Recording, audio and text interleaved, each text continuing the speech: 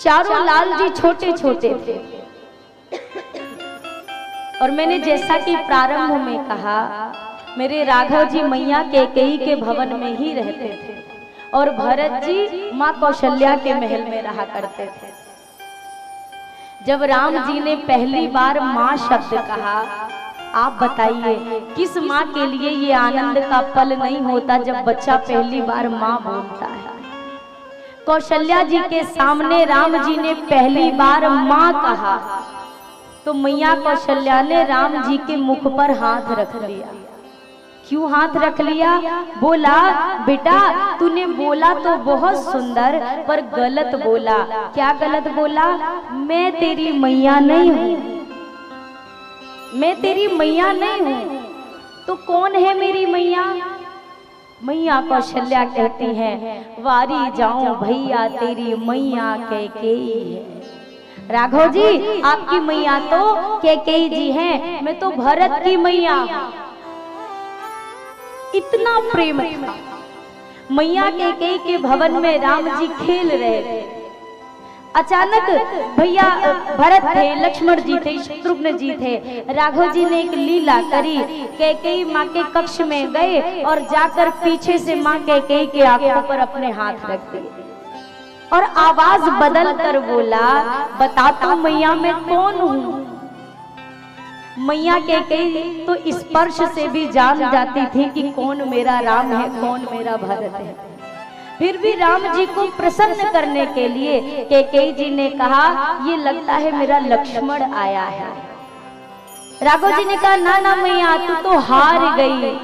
हाथ हटाया, बोला, देख, मैं तो तेरा राम हूँ। कहकर गोद में आकर बैठ गए। मैया के कई ने कहा, अरे, ये तो राम था, मुझे लगा लक्ष्मण आया राम जी किलकारियाँ भरकर हंसने लगे, कहने लगे, माँ, तू हार गई, मैं जीत गया।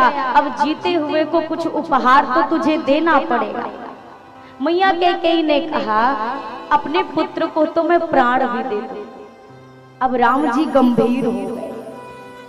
राम जी उठकर खड़े हुए गंभीरता से कहा, माँ, तू मुझे क्या दे सकती है?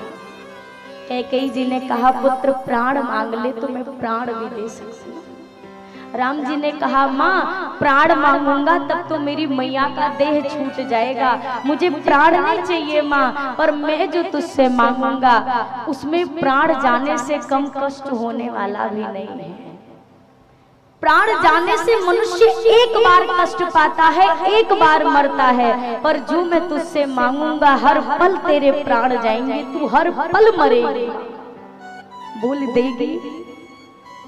मैया के कई ने कहा, अगर मेरे राम की इसमें प्रसन्नता है, मैं ये दे दूँ। मांग तो सही। राम जी ने कहा, इतना ही नहीं माँ। तेरा भरत तुझसे बात नहीं करेगा। मैया के के की आँखों में आँसू आ गए। लेकिन फिर भी गंभीरता से कहा, राम, भरत बात नहीं करेगा। तुम तुम उससे बात करोगे ना। राम जी ने कहा, माँ, जीवन में वो क्षण नहीं आ सकता जब राम अपनी माँ कह के से ना बात करे। तो दे देंगे। आगे मैया ने पुनः कहा, मैं ये भी करने को तैयार हूँ। राम जी ने कहा, इतना ही नहीं माँ पूरे संसार वाले तुझे दोष लगाएँगे। इतना ही नहीं माँ संसार में आज के बाद कोई माँ अपनी बेटी का नाम कह के ही नहीं रखेगी। इतना ही नहीं माँ, तेरा भरत ज़िंदगी में तेरा मुख मुख नहीं देखेगा। तुझे माँ कहकर नहीं बुलाएगा। अब बता क्या देगी? राम जी से मैया के कई ने कहा कोई मुझे माँ कहे ना कहे कोई और कोई और मेरी ओर देखे ना देखे बस इतना बताओ रघुनंदन आप मुझे माँ कहोगे कि नहीं कहोगे? आप मेरी ओर देखोगे कि नहीं देखोगे? कोई और सुने ना सुने मुझे फ़र्क नहीं पड़ता। आप मेरी सुनोगे कि नहीं सुनोगे? आप तो मुझसे मुँह नहीं फेर लोगे। राम जी ने कहा माँ जीवन में कभी ये पल नहीं आएगा मैया के कई ने उस दिन वचन दिया, जो मांगोगे दूँगी राघव। और क्या मांगा? माँ, जब पिताजी मेरे लिए राजगद्दी की तैयारियाँ कर रहे हो ना, उस समय आप मेरे लिए वनवास मांग लेना। उस समय वनगमन की बात कर देना।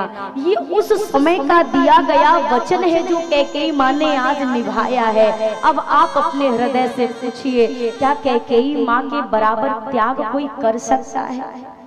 संसार की निंदा को लेकर के, संसार के सारे प्रलापों को झेलते हुए मैया कैकेयी ने अपने राम जी के लिए ये सब कुछ किया। भरत जी ने जब पूछा, माँ, कारण बता पिताजी को क्यों ऐसे अचानक ऐसी स्थिति बनी? राम जी, क्या नहीं थे अयोध्या में? मैया के कई ने, अब वो दो वरदानों की चर्चा कर मैंने दो वरदान मांगे जो तुम्हारे पिताजी ने मुझे दिया था। पहले में मैंने तेरे लिए राज्य मांगा और दूसरे वर में मैंने राम का वनवास मांग दिया। मंत्रा ने बड़ी सहायता करी मेरी अब ये शब्द कानों में पड़े, स्थिति क्या हुई? भरत बिसरे पितु मरन। सुनते राम बन गो। भरत जी को पिताजी के मृत्यु की बात भूल गई और अब क्या याद रहा? राम जी वन चले गए। बस ऐसे अर्थ में समझिए, जैसे आप किसी रास्ते से कोई व्यक्ति जा रहा हो और अचानक वो गाड़ी से गिर जाए, एक हाथ में खरोच लग जाए, लेकिन जब तक वह हाथ दूसरा उठाने की कोशिश कर रहा हो, देखता है दूसरा हाथ तो उठ ही नहीं रहा। किसी ने बोला, भैया, लगता है ये तो फ्रैक्चर हो गया है। अब व्यक्ति खरोच को भूल जाएगा और इस टूटे हाथ पर निगाह चली जाएगी। ये दर्द इस दर्द के आगे छोटा पड़ जाएगा। ऐसी ही स्थिति हुई भैया भरत की। अब दशरथ जी के ना रहने की बात छोटी हो गई। जैसे ही सुना कि मेरे भैया बन चले। इतना कहने के बाद भरत जी ने माँ कैकेयी को बहुत कुछ कहा है। क्या कहा?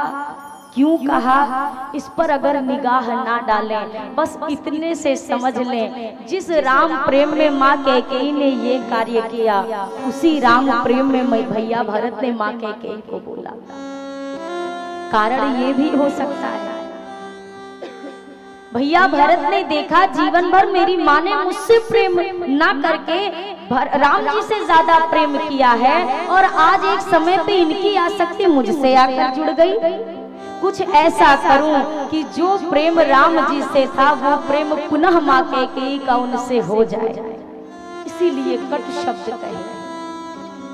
भरत जी महाराज ने इधर जब बोला, शत्रुघ्न जी ने मंथरा पर प्रहार किया, अब ये जैसे ही भरत जी ने देखा, छुड़वाया।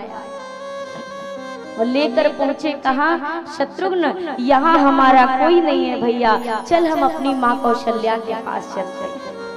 सीधा माँ कौशल्या के भवन में चल पड़े। श्री दशरथ जी महाराज, जीवन में अगर हम ये विचार करें कि संपत्ति या संतति, ये हमारे आखिरी समय में हमारे काम आ जाएगी तो ये कोई आवश्यक नहीं है। बिल्कुल आवश्यक नहीं है। दशरथ जी के कितने पुत्र हैं? कितने पुत्र हैं? ज़ोर से बोलिए। चार पुत्र हैं।